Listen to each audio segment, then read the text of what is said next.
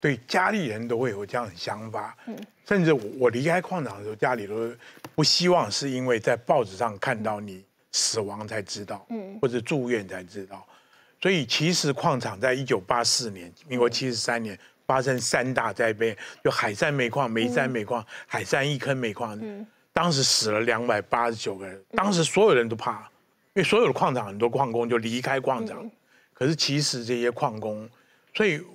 我同意有有些东西，你真的在批判的过程，你是不是要成立一个感恩的心去看这句？嗯，这群矿场的工人后来去哪里？嗯，挖雪隧，嗯，挖滨海公路的隧道。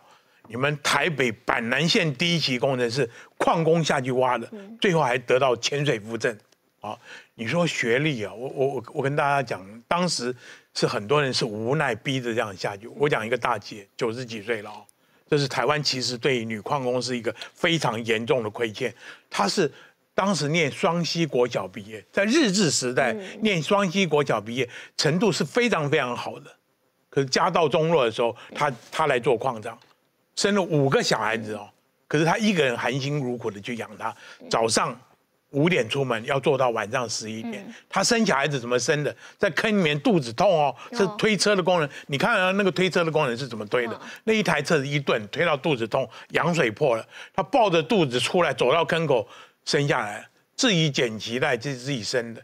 那一群人对台湾这个社会奉献到，几乎是把生命、身体都给了这块土地。到最后你看啊，你没读书，你不没有知识，所以你才约下去，就是因为有这一群。没有知识的人，让你台湾发展的经济奇迹，让你雪隧能够通通车，让你底下的板南线可以通车。嗯，可是你假如说整个社会就是在批判哦，批判矿工怎样，那个对显然对矿工不公平，而且还有很多人是家住在那里，住了两三代的。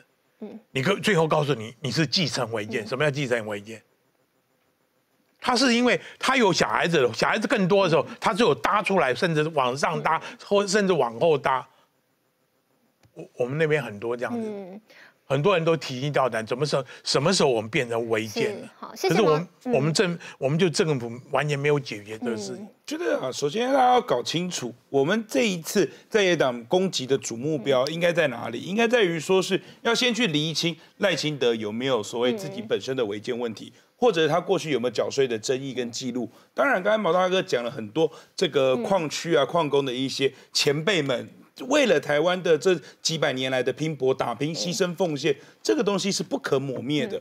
所以，当然，毛大哥您也在那个矿坑的那个纪念馆工作嘛？对，做导览，对不对？做导览，把这一段历史记忆不要把它忘记，让更多的台湾人知道、传承下去，这是非常重要的。嗯。可是，我觉得回过头来。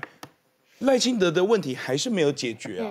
赖清德因为为什么为什么不针对其他人，要针对赖清德？首先，他担任过国大代表，他担任过立法委员，他担任过台南市长，他担任过行政院长、副总统，到现在要来选中华民国的总统，他是有能力让这些事情做改变的人，他是有能力去让这一块区域，我们想不想努力的去促成它合法化的人。